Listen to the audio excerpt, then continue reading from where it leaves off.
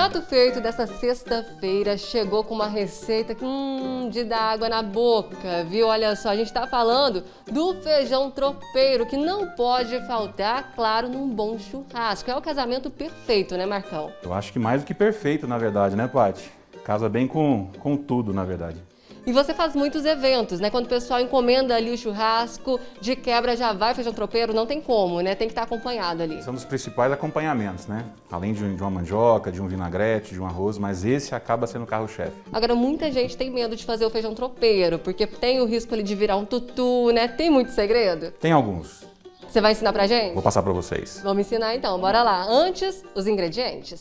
Vamos precisar de 1 kg de feijão carioca, 1 kg de toucinho comum, 1 kg de bacon, uma cebola grande picada, 1 kg de linguiça calabresa fininha, um pacote de farinha de mandioca branca ou farinha baiana, temperos a gosto, como alho, pimenta do reino e sal, 3 colheres de banha de porco ou óleo, oito folhas de couve picadas bem fininhas. Eu tô vendo que o feijão ele já tá cozido aqui. Agora me conta qual o truque para deixar ele no ponto. Tem algum segredo, Marcos? Depende muito da qualidade do grão também, né?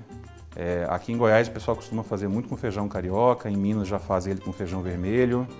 Mas depende, a, cada 5, 10 minutos é bom sempre estar tá dando uma olhadinha também para não passar do ponto. O erro às vezes é deixar muito tempo ali e não olhar. Exatamente. Aí pode passar, não tem jeito, aí não vai ter como voltar atrás. Não, já era. Agora ele deixa cozido aqui para a gente já acelerar o processo. Isso. E o que, que a gente vai fazer primeiro agora? Vamos lá? Vamos lá. Já está com fogo aqui. Panela já aquecida. Exatamente. Nesse ponto, não tem nem tanta necessidade de colocar Nesse caso, eu vou, já estou aproveitando também um pouco da banha que eu fiz o torresmo para deixar um gosto melhor também, já aproveitar, tá? Perfeito. Quem não tem banha, pode ser o óleo pode normal óleo, mesmo. Exatamente. Alguém, alguns usam até manteiga também, tá? Uhum. Então vamos começar pelo bacon. Tô vendo que não jogou muito, né? Só um pouquinho mesmo, porque o bacon já tem bastante gordura também. É justamente para não deixar grudar no fundo da panela, tá? Gente, isso aqui é uma perdição. Ô, oh, coisa que cheira bom, viu? Dá aquela fritadinha até ficar bem douradinho? Bem douradinho. Não precisa deixar passar muito também, porque ele acaba reduzindo e fica muito seco depois, tá? Fica ruim para mastigar ali, Exatamente. né? E olha só como que tá o bacon. Já chegou no ponto? É isso mesmo, Marcão? Já. E agora, o que, a gente faz? Eu vou colocar a calabresa, então eu, na verdade, eu nem tiro o bacon, tá? Eu já coloco junto. Junto. E já deixo fritar também, tá? E olha só quanto de gordura que já soltou, né? Muito. Por isso que não precisa colocar tanta banha ali no comecinho. Não tem necessidade. E feijão tropeiro, estava me dizendo que tem que ser caprichado mesmo, né? Não é só aquele pouquinho não. ali de calabresa, de, de bacon, não, né? Pelo menos o meu capricho bastante.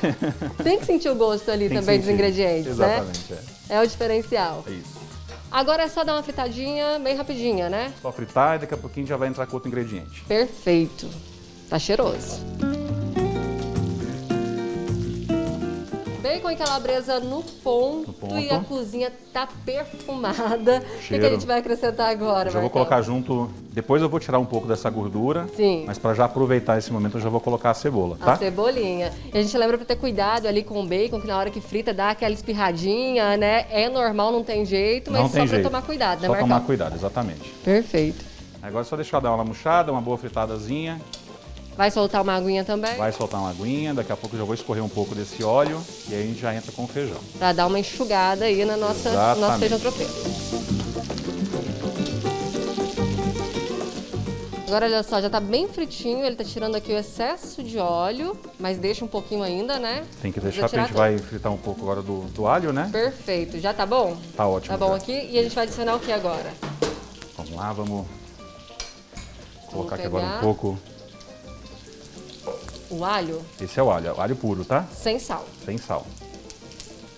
E a gente lembra que a própria calabresinha, tudo já tem sal, já né? Já tem sal, então, exatamente. Tomar... Ui, tem que tomar cuidado. Aquela questão de que espirra, então tem que ter cuidado aqui.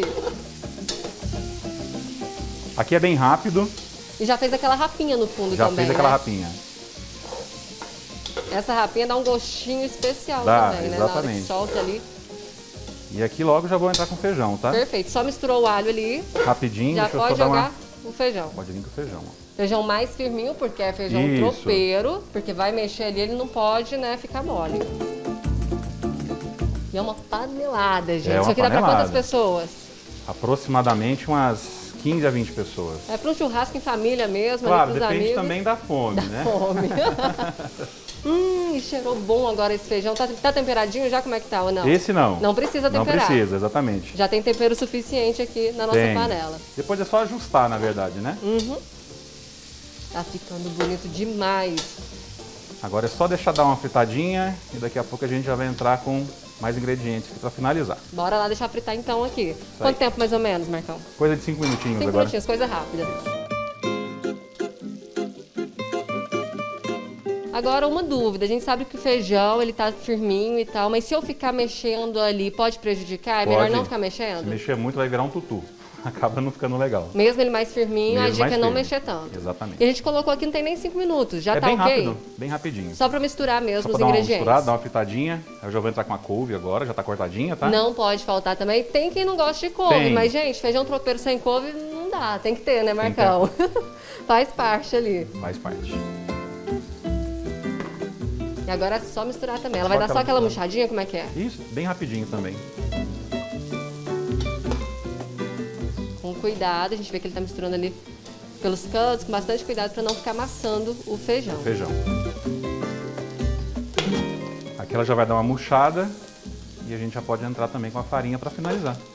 Essa farinha, você estava me dizendo que tem um segredo aí, né? Por que, que ela é tão importante? Então, eu já fiz teste com várias até chegar nesse nessa um pouco mais um pouco mais perfeita em relação aos outros. Essa farinha, a farinha branca, então ela acaba não sendo tão torrada. Então ela dá uma qualidade melhor e uma crocância também para o feijão tropeiro. Farinha branca ou baiana, né? Ou baiana, exatamente. Que ela é conhecida. Aqui Bora já vou colocar farinha. a farinha. Qual que é a quantidade ali da farinha para a quantidade de feijão? Tem uma medida para não ficar tão seco, para não ficar... Paty, eu acho que isso vai muito da pessoa. Acho Uhum. que vai mais. É de gosto mesmo. Alguns preferem bem menos farinha, outros já preferem mais. Uhum. Vai no olhômetro ali Vai no da olhômetro. forma que agradar. Exatamente. Perfeito. Dá mais aquela mexidinha para misturar. Tá quase pronto. Quase pronto. E sempre no fogo baixo nesse momento. Da- do médio para baixo Médio agora. para baixo. Para não queimar também. Eu vou até baixar um pouquinho mais aqui agora. Olha que bonito que tá ficando.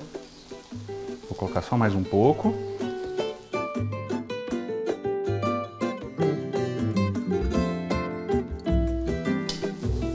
E praticamente finalizado. Mas tá faltando ingrediente especial aí também. Falta. Qual que é? Particularmente eu gosto de colocar o torresmo só no finalzinho. No fim, não precisa misturar. Não precisa. Pra ele não murchar? Senão ele murcha todinho. Perfeito. Então só joga por cima ali no arremate. Exatamente. Ele Eu já tá até- fritinho ali. Tá fritinho. Foi na banha também. Foi na banha também. Pronto o nosso feijão tropeiro, é isso? Prontinho. Que maravilha, gente. Agora claro, só né? degustar. Que eu vou provar, claro. Agorinha, vamos lá. Vamos lá.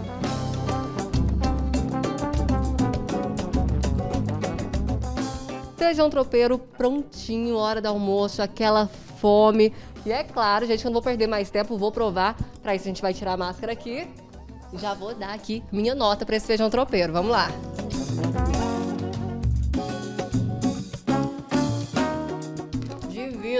Muito gostoso. Não precisa de tanta farinha mesmo, né? Não, não precisa. Tá muito bom, tá no ponto ali o feijão, tudo muito fritinho, muito gostoso. Tá de parabéns, nota Obrigado. 10, viu? Agora eu vou aproveitar pra poder almoçar aqui também, né? Tchau, tchau. Tchau.